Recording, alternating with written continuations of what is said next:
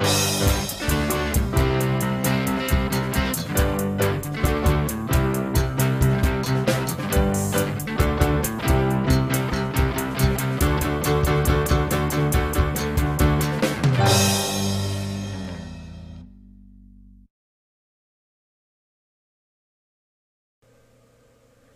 Hi, and welcome back to Podcast School. This is an A2 Technology and Design video podcast. We follow the SIA syllabus, that's a syllabus from Northern Ireland, and we're looking at Unit 3.7 of that syllabus. If you actually want to download the syllabus, you can from the website, from the Podcast School website. Today we're going to look at Boolean algebraic identities, and this is part one, so there's a clue. There is also a part two coming up. But for now, part one.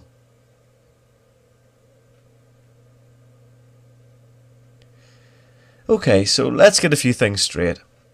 We need to know what an identity is. And I've said there that in mathematics an identity is a statement true for all possible values of its variable or variables.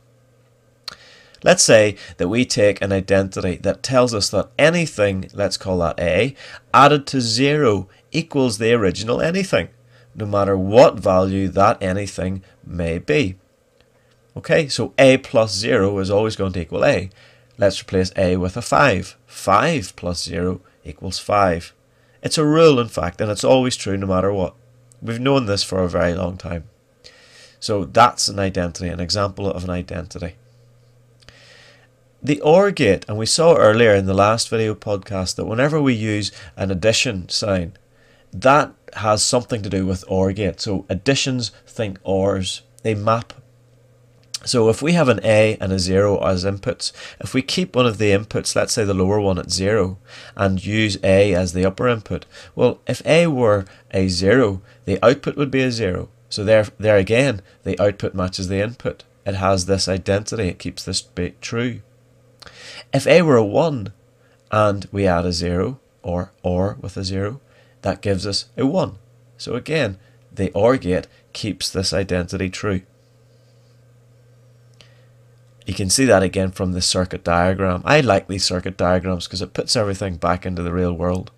With, Z with this blower switch being open and A being either open or closed, it doesn't matter what uh, 0 or what the switch does. If A is closed, then the LED will light, but if it's not, then it won't. Okay? I've said there, no matter what the value of A, the output will always be the same. When A is a 1, the output will also be a 1, and when A is 0, the output will also be a 0. But the important thing here is to remember the, this identity. A and so sorry, A ORed with 0 equals A. Notice I said ORed and not added to. The next identity is most definitely different from normal algebra. Okay, I've said that a plus 1 equals 1. Now that you uh, that won't make sense in the real numbers world, will it? But if we have a look at our OR gate here, and remember ORs come with ad addition or map with addition. So A ORed with a 1 gives us a 1, no matter what. Because no matter what A is, if we have a 1 in the lower input, it will always be a 1. We know that from our truth tables from before. Again, if you look at the circuit diagram, if this lower switch is closed, it does not matter what A is at all. It'll always light the LED, or in other words, it'll always be a 1 at the output. Okay, no matter what the value of A, the sum of A and 1 will always be 1. So that's our second identity. Now, what happens if we add A and A together? So for this, I've used the OR gate from before. Remember, adding is OR gates. I've got an A in the input, at the input, and we're adding it to another A. We're ORing it with another A. So the simplest way to do that is just to connect the inputs. So what am I going to get at the output? Can you, can you think?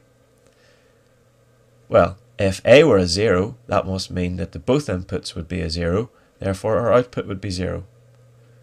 If A were a 1, then both inputs here would be a 1, and again our output would be a 1.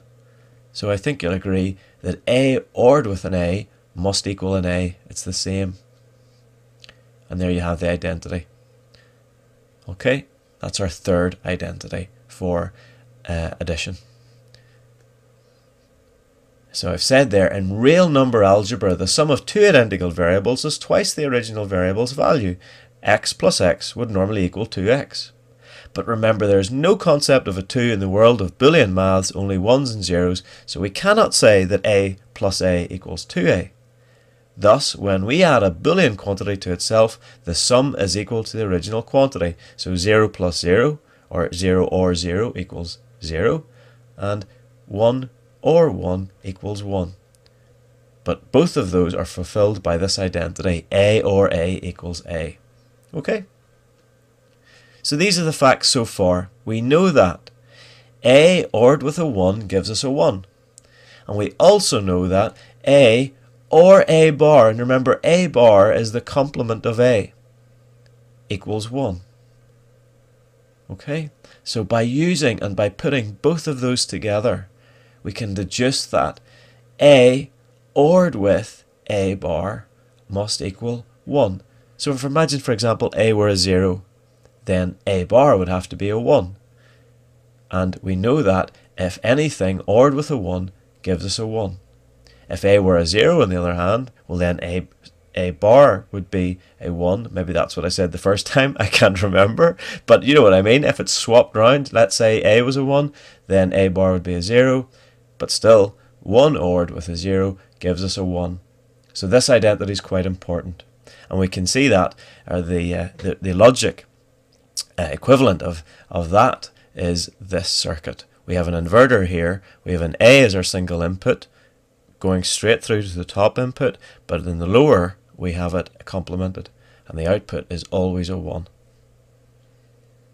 Okay, and there's our circuit diagram. So that gives us four identities for Boolean addition or ORing. Okay, in the next video podcast, we'll look at four Boolean uh, identities for uh, multiplication or the AND function. But that's for next time. Until then, bye bye.